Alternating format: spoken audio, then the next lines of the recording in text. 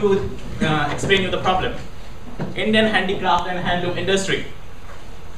Uh, it is a very important lifeline of our rural population, but we possess only 2% of $100 billion industry. International handicraft industry is $100 billion, and we are having only 2%. Why is it so?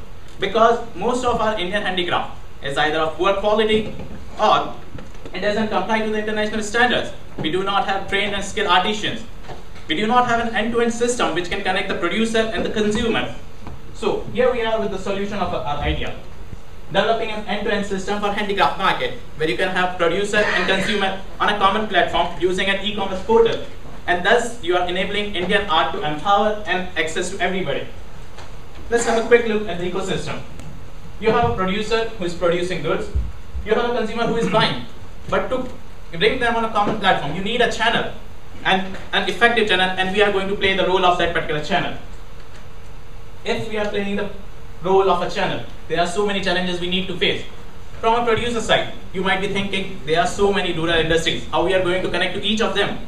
Do we have any market analysis or financial analysis behind us? From a consumer side, how a consumer is going to access us. Second point, how he is going to trust us to pay us. And from our perspective, how we are different from the competitors in the market. So let's have a detailed look at the uh, ecosystem. In the producers, you can have two types of producers in Indian art industry. You can have budding artists who are easily accessible to us and which can generate good revenues for us. But our biggest revenue generation market, rural craft, rural handicraft. But how do we access them? We are going to access them through SANA. What is SANA? SANA is an organization which is working in Indian handloom and handicraft industry for past eight years. I'll go into the details later, Let's assume we got the products from Sana and producers. We have it. Now, how we sell it? So, how you like to buy? Nowadays, a lot of e-commerce portals are there, but most of them are selling gadgets and books. But we are here with our portal, IndianArtAndCraftShop.com. It is already live. You can go and check. Quite easy to use. You can drill down to categories. Have a look at the uh, products. You can go to a category, select a particular product, simply add it to cart if you like, there are so many payment, uh, payment options. Simple e-commerce site. But the question comes, how an end user is going to pay us? Can he trust us? Does he know us? I don't think so. You're not going to pay your credit card on a new site. So the trust comes from our investors who are behind us. Because if they people know the investors and if they support us, initial customers can come us due to their confidence. And once we have that initial customers, we can have good quality, good support, and we can generate more customer base. And once a customer pays us, we can have a third-party system for shipping and packaging in the initial system. Now, okay, somebody is producing, somebody is buying. Why do you want to enter here?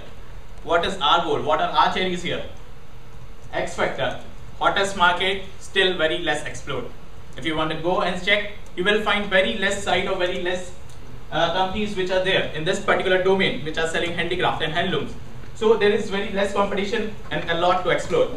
And while doing this, we can empower Indian art on a global level. I told you a little bit about Sana. So what is Sana?